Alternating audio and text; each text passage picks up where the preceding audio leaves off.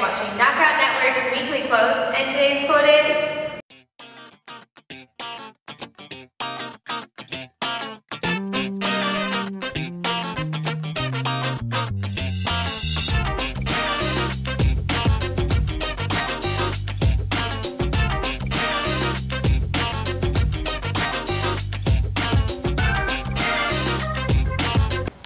If you can't love yourself, hell are you going to love somebody else? And that's quoted by RuPaul, and that means to me, always put yourself first.